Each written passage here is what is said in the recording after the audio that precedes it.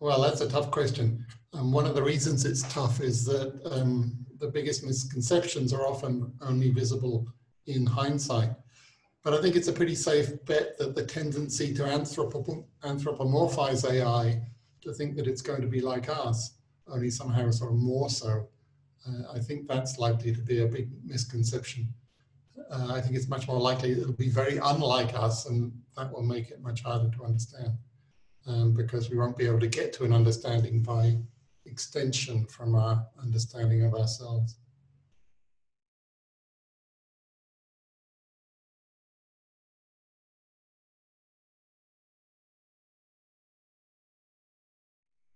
Well, I was tempted to cheat here and say that your next question, the one about who should be in charge and mm. involved in developing ethical frameworks, is the most important question.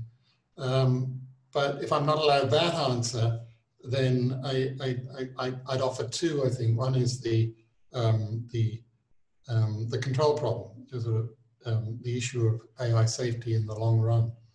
Um, but I think perhaps um, in the shorter term, at least to some extent shorter, um, the issue of machine consciousness is one that we should be very concerned about because we need to be very sure that we're not building mechanical slaves or, or machines capable of suffering.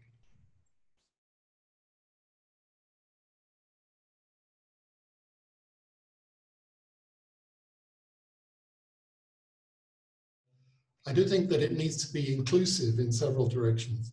Uh, for example, the process needs to involve end users in some way, especially disadvantaged end users or, or representatives for them.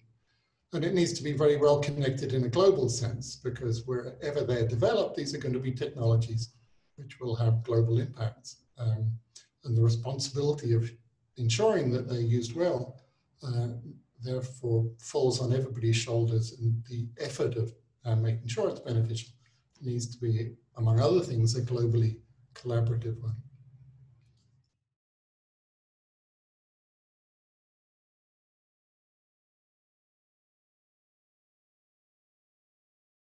But briefly, I think that academia has several distinctive features that give it a key role to play.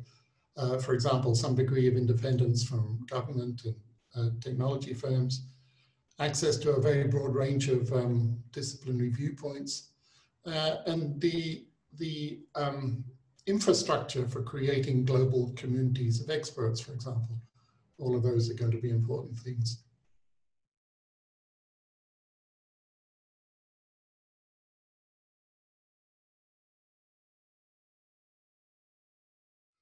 Well, this is a kind of question that's especially difficult to answer except in hindsight. Um, and the biggest changes uh, to us coming from AI are almost certainly um, still in the future, probably quite a long way in the future.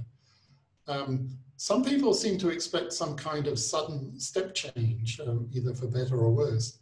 And on the pessimistic side, for example, um, Yuval Harari has talked about the dangers of what he calls in this sort of cute equation, B plus C plus D equals HH. So biology and brain science plus computing plus data equals human hacking, the ability to change ourselves uh, in radical and uh, possibly dangerous ways. I'm somewhere in the middle between op optimism and pessimism on this. And, and, on the particular point of human hacking, I think that we've been hacking ourselves for a long time.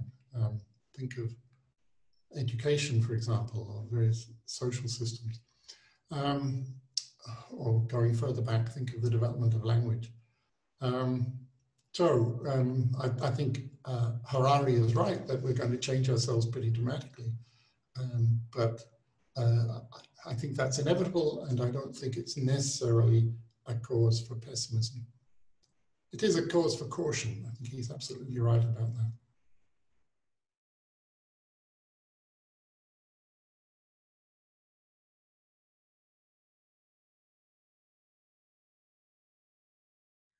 Well, as some of my Cambridge colleagues have pointed out in a, an excellent recent piece, one of the difficulties of the present situation is that we're having to make these ethical choices on the run. Um, but there are some obvious approaches for mitigating potential harms. For example, we can build sunset clauses into emergency legislation. Uh, we can ensure that proper review happens afterwards to learn the lessons for future cases. Uh, and I think this is particularly important. We can take extra steps to earn trust, for example, by establishing penalties for misuse of data beyond the needs of um, contact tracing.